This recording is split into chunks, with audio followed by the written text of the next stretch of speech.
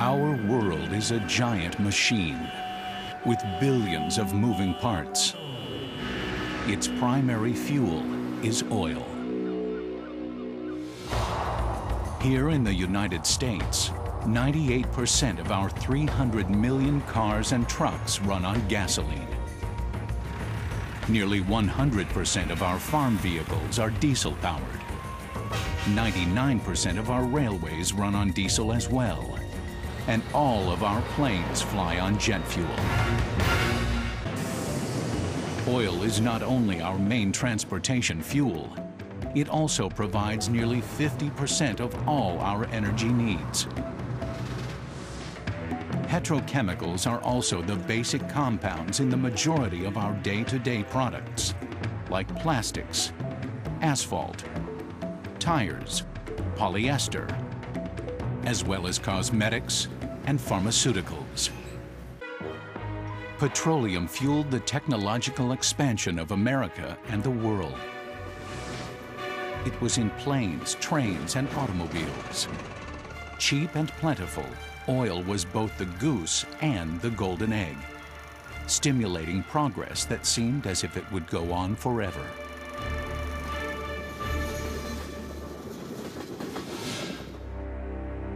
But in the 1950s, a crack appeared. Shell Oil's chief geologist, M. King Hubbert, came to an ominous conclusion.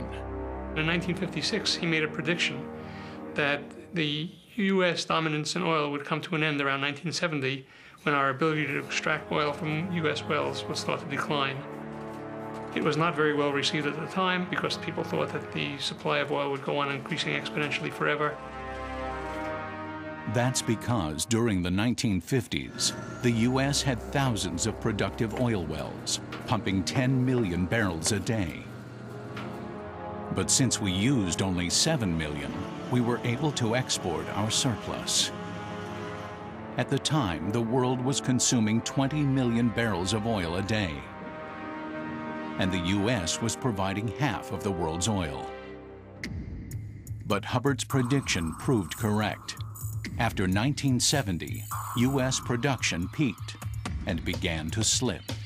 Since 1970, the U.S. has been producing, on average, less oil every year.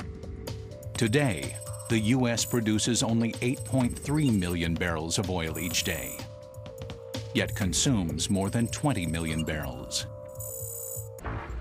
There was a second part to Hubbert's prediction. He calculated that world oil production would peak during the early part of the 21st century and slide into permanent decline. Some experts today believe his peak oil theory has already been confirmed. A report issued in February 2007 by the U.S. Government Accountability Office states that world oil production is expected to peak sometime within the next few decades. But despite this prediction, the federal government hasn't devised a plan to deal with the frightening consequences. If we wait until we're absolutely certain that oil has peaked, we've missed the boat. We've run out the clock. We haven't run out of oil. What we've run out of is readily accessible, high quality, low cost oil. There will be oil around for another 100, 150 years. Ever more difficult to get, ever more costly. As the world's oil supplies become depleted, we could be faced with rationing, social unrest, and even war. The demand for oil keeps increasing, particularly with China and India becoming nations of drivers. And with the demand increasing and the supply decreasing, there, there will be a crunch. The sobering reality we face is that we can no longer count on getting oil as cheaply and easily as we have in the past.